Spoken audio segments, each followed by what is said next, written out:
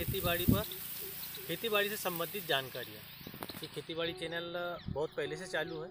तो इसमें क्या वीडियो कम आते हैं जो मैं कर, करता हूँ सक्सेस होता है, उसके बाद उस पर वीडियो बनाकर आप तक जानकारी पहुँचाता हूँ। तो मेरा वीडियो पूरा देखें। मैं आज जैविक गेहूँ का उत्पादन दिखा रहा हूँ कि जैविक उत्पादन कैसे किया है।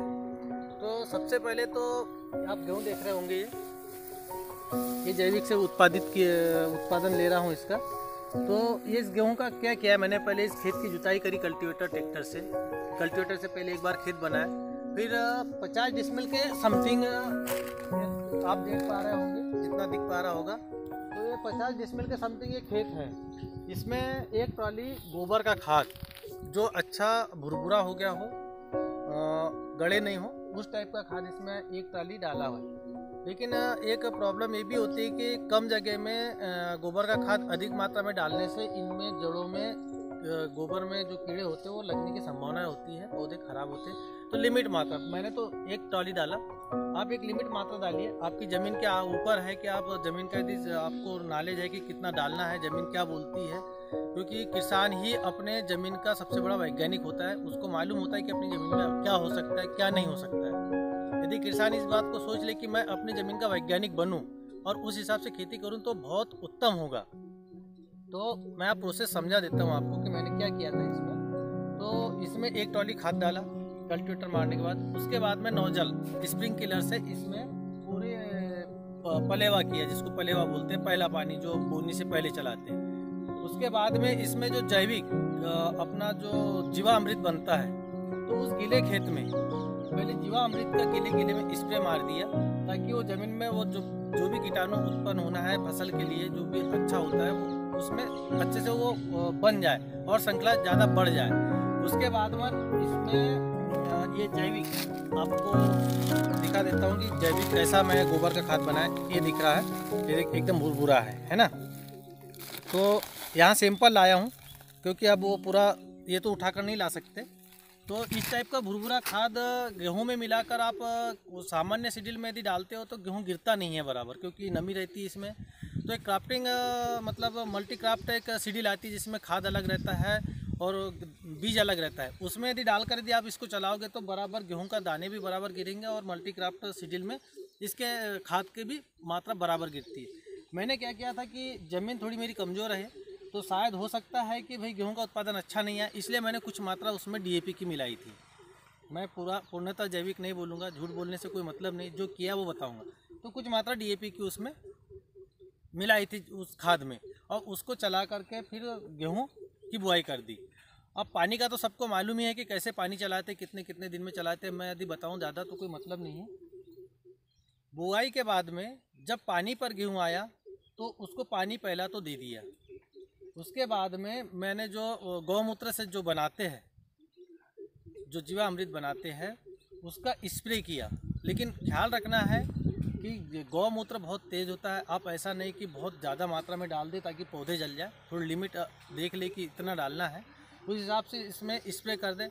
तो पानी चलाने के बाद में स्प्रे करें, ताकि कुछ यदि वो ज़मीन पे भी पड़े तो वो नमी की वजह से उधर जड़ में भी फ़ायदा दे। और पत्ते पे क्या होता है ठंडियों के मौसम में इन पर नमी रहती है, पानी की बूंदें जमी रहती है तो इन पर भी वो पानी की बूंदे की वजह से वो ज़्यादा असर करता है। जनरली आपने सुना होगा कि ठंडे मौसम में मारे इस पर या सवेरे के समय मारे या शाम के समय तो ऐसा देख करके मारे, क्योंकि उसके कीटाणु एकदम से ज़्यादा धूप का प्रभाव पड़े, वो सूख जाएँगे, मर जाएँगे। तो ऐसा मौसम देखे कि वो ज़्यादा टाइम वो पौधे पर पत्ती पे पड़े रहे ताकि वो अपनी प्रक्रिया पूरी कर सके। तो आपको जैविक खेती का तो ये बताया कि इस तरीके से इसको निकालना है। अब फ़र्क दिखा देता हूँ, जैविक गेहूँ में क्या फ़र्क आया है और रासायनिक खेती में क्या फ़र्क आया तो ये पौधा देख रहे हैं इसके कल्ले देखो, दिखाता हूँ मैं कि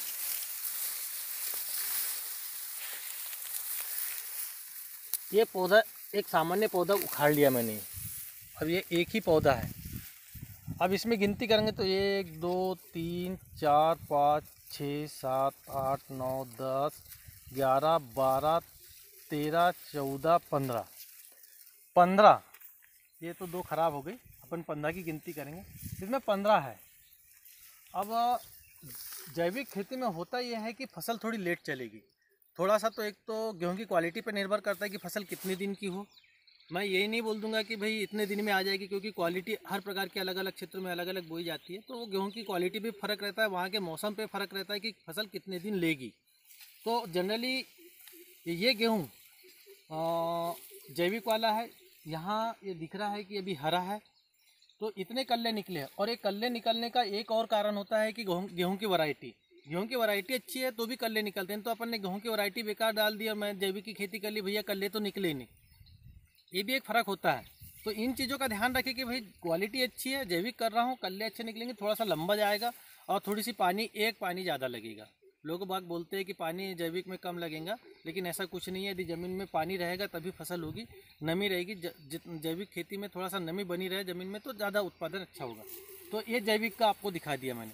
अब ये देखिए, ये गेहूँ है यहीं साइड में, ये रासायनिक। आपको कैमरे के द्वारा ये जैविक वाला प्लाट हरा दिख रहा होगा? ये भूसा दिख रहा होगा। ये प्लाट देख लिए। ये अभी क्या है, आंधी तूफ़ान पानी चला है तो इसकी वजह से गेहूँ गिर गया मेरा ये, दो दिन पहले। अब इसमें कल्ले की गिनती करा देता हूँ। देखिए, पतला है यहाँ पर, उसके बावजूद भी इसमें कल्ले उतने नहीं निकले। एक, दो, तीन, चार, पाँच, छः, सात, आठ। उसमें पंद्रह थे, इसमें आठ। समथिंग, डबल का फ़र्क है। तो इतना नहीं भी आए, यदि आपको इसमें सिर्फ़ थर्टी परसेंट भी यदि रिज़ल्ट कम, अधिक मिलता है जैविक में तो आप ज़रूर जैविक की खेती कीजिए। और जैविक की खेती करने का एक और मैं आपको बता दूँ कि ज़मीन बहुत महत्वपूर्ण होती है, ज़मीन के आधार पर ही जैविक की खेती आपको करना है। आपकी ज़मीन बहुत ज़्यादा हल्की है, जिसमें ताकत नहीं है। आप उसमें चाहेंगे कि पूर्णतः मैं जैविक के थ्रू उत्पादन ले लूँ तो बहुत कम उत्पादन आएगा। जैविक खेती के लिए ज़मीन भी होना उस तरीके की ज़रूरी है और क्वालिटी पर भी निर्भर है। तो यदि आपकी ज़मीन हल्की है, उसमें क्या बोले, पोषक तत्व की कमी है तो आप उसमें कुछ दिन तक रसायन, जैविक के साथ में रसायन का भी उपयोग करें। धीरे धीरे उसमें प्रतिवर्ष गोबर की खाद डालें, जीवा अमृत डालें धीरे धीरे धीरे कर कर के वो ज़मीन आपकी उस लायक हो जाएगी कि आप पूर्णतः जैविक पर भी उत्पादन ले सकते हैं। लेकिन शुरू में ही अपन जम, ज़मीन को तो सबने बीमार करके रखा हुआ है। अब उस ज़मीन में अपन एकदम से जैविक खेती करेंगे तो एकदम से उत्पादन आपको उस टाइप टाइप का नहीं मिलेगा। आपको उसको धीरे धीरे करना है। कुछ जैविक, कुछ रसायन, कुछ जैविक, कुछ रसायन। ऐसा करके खेती करेंगे, एक दो साल, तीन साल लगातार ऐसे करते रहे। फिर धीरे से आप गोबर के खाद प्रति वर्ष डालें इसमें। वैसे तो दो तीन वर्ष गोबर की खाद फ़ायदा करती है पौधे को, लेकिन आप प्रतिवर्ष आपके पास में है तो आप प्रतिवर्ष डालें, उसके बाद में फिर उसमें पूर्णतः जैविक खेती चालू कर दें तो आपको उत्पादन पूर्ण अच्छा मिलेगा। तो ये है गेहूँ की जैविक खेती का तरीका। और एक किसान भाइयों, एक गलती और करते हैं कि जैविक खेती करने के लिए तो तैयार है, लेकिन वो खाद भी डालते हैं, लेकिन उस खाद में पोषक तत्व उतने नहीं होते। आप पूछेंगे कि क्यों नहीं होते हैं? तो उसका कारण ये होता है कि आप जो खुले में जो कूड़ा कचरा जमा करते हो और बारिश का पानी गिरता है, उस पानी में उसके जो तत्व है, उस पानी के में बह जाते हैं। तो जो गोबर की खाद तैयार करना है तो किसी टीन सेट के नीचे, किसी पाल के नीचे, ताकि बारिश का पानी उसमें ना जाए। अब उसको गीला रखने के लिए अपने को उस पर पानी डालना है, ताकि बहे नहीं, इतनी पानी डालना है कि वो नमी बनी रहे और वो पूर्ण तरह सड़ जाए। उसमें केचुआ उत्पन्न हो जाते हैं, यदि नहीं है तो केचुआ ला कर डाल सकते हैं। तो दो तीन तरीके से है उसको बनाने का। मैं आपको वो तरीका भी बताऊँगा कि मैं किस तरीके से वो खाद बनाया था, तब वो प्रभावशाली हुआ, तब उसने अच्छा काम किया। खुले में खाद बनाने से बारिश आई, बारिश लगातार तीन महीने हुई, पानी उस पर गिरता रहा और उसका पानी बहते रहा। तो उसका देखा होगा कि आपने चाय कलर का मतलब जो चाय बनाते उस टाइप का पानी निकलते रहता है। तो वो पानी यदि आपका बह गया तो वो क्या रह गया? फिर वो कचरा रह गया। उसका पोषक तत्व तो बह गया। तो याद रखें कि जैविक खेती के लिए ये ज़रूरी है। आप इसमें मार्केट से लिए हुए उत्पादन भी डाल सकते हो। आपके पास में यदि जानवर है, आप घर में बना रहे हो तो बहुत अच्छी बात है। आपके ऊपर बजट का मतलब पैसे का खर्च कम आएगा। तो ये सब जानकारियाँ हैं। सबसे अच्छा उत्पादन सब्जियों में आपको जैविक का देखने को मिलेगा।